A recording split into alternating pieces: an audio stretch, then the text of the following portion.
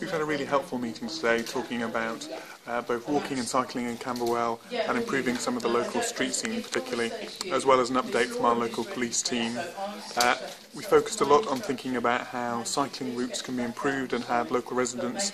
uh, sitting down round maps looking at how some of our cycle safeways can be delivered through Camberwell down from uh,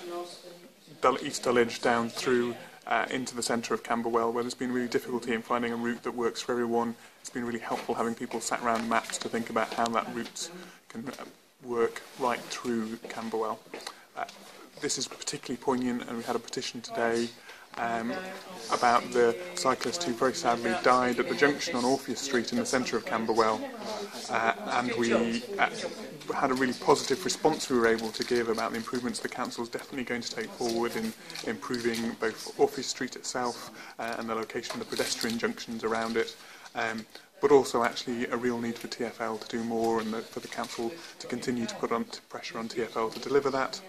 Uh, and then we then went on to talk about some of the detail of what the street scene can look like. Uh, and again, with residents having the chance to sit down and talk about the types of trees we plant, the types of benching we put in, and how we can make sure that the public realm really works for everyone